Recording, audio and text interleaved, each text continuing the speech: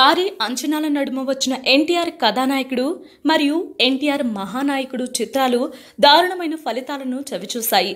బాలకృష్ణ కెరియర్లోనే అతి తక్కువ వసూలు చేసిన సినిమాగా ఎన్టీఆర్ మహానాయకుడు నిలిచింది. కేవలం ఐదు కోట్లు మాత్రమే మహానాయకుడు వసూలు చేయటం అందరినీ ఆశ్చర్యపరుస్తుంది.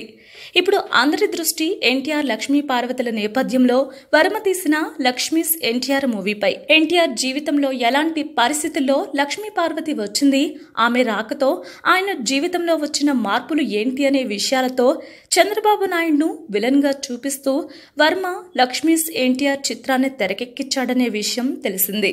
ఎన్టీఆర్ ఆశీస్సులతో మార్చి ఇరవై రెండున లక్ష్మీస్ ఎన్టీఆర్ చిత్రాన్ని విడుదల చేయబోతున్నట్లుగా వర్మ ప్రకటించాడు. ఈ చిత్రంపై ప్రేక్షకుల్లో ఉన్న క్రేజ్ నేపథ్యంలో సినిమాను అన్ని ఏరియాల్లో కూడా మంచి రేటుకు కొనుగోలు చేసేందుకు ఆసక్తి చూపుతున్నారు. ఇప్పటికే బిజినెస్ క్లోజ్ కూడా అయిందనే టాక్ వినిపిస్తుంది. తాజాగా సినిమాను కొన్న బయ్యర్లంతా కూడా కలిసి వర్మ వద్దకు వెళ్ళారని సినిమా విడుదల తేదీ విషయంలో మరోసారి ఆలోచించాలని కోరినట్లు తెలుస్తుంది. ఇరవై ఒకటవ తారీఖున అల్లు శిరీష్ ఏబిసిడి చిత్రంతో పాటు మూడు నాలుగు చిన్న చిత్కా సినిమాలు ఉన్నాయి. ఆ సినిమాలకు ముందుగానే థియేటర్లు బుక్ అయ్యాయి. ఇరవై రెండవ తారీఖున విడుదల చేయాలనుకుంటున్న లక్ష్మీస్ ఎన్టీఆర్కు ఎక్కువ థియేటర్లు లభించడం లేదు. ఆ కారణంగానే వారం ముందుగానే లక్ష్మీస్ ఎన్టీఆర్ను విడుదల చేయాల్సిందిగా బయ్యర్లు వర్మను కోరినట్లుగా సమాచారం అందుతోంది.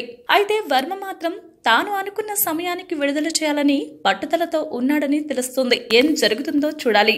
ఈ వీడియో మీకు నచ్చితే లైక్ చేయండి. మీ అభిప్రాయం మాతో పంచుకోవడానికి కామెంట్ చేయండి. అందరికీ రీచ్ అయ్యేలా షేర్ చేయండి. కానీ మా ఛానల్ని సబ్స్క్రైబ్ చేసుకోవడం మాత్రం మర్చిపోకండి.